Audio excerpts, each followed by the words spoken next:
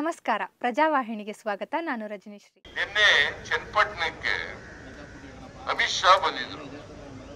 ದೊಡ್ಡ ಮೆರವಣಿಗೆ ಮಾಡಿದ್ರು. ಕಾರ್ನರ್ ಮೀಟಿಂಗು ಕೂಡ ಮಾಡಿದ್ರು. ಆದ್ರೆ ಇಡೀ ಅವರ ಭಾಷಣ ಬರೀ ಸುಳ್ಳಿನಿಂದ ಕೂಡಿತ್ತು. ಇಡೀ ಭಾಷಣ ಬರೀ ಸುಳ್ಳು.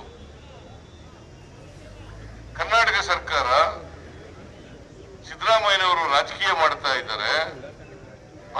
ಬಗ್ಗೆ ಮೆಮೊರಾಂಡಮ್ ಕೊಟ್ಟಿರೋದು ಲೇಟಾಗಿ ಕೊಟ್ರು.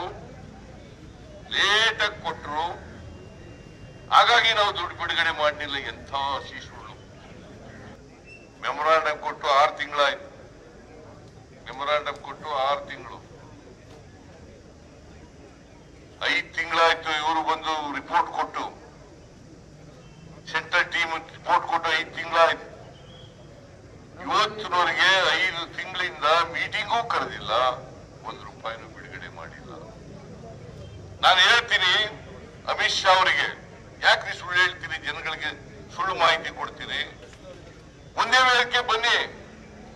ನಾವು ಸುಳ್ಳು ಹೇಳ್ತಾ ಇದ್ದೀರೋ ನೀವು ಸುಳ್ಳು ಹೇಳ್ತಾ ಇದ್ದೀರೋ, ಚರ್ಚೆ ಆಗಲಿ.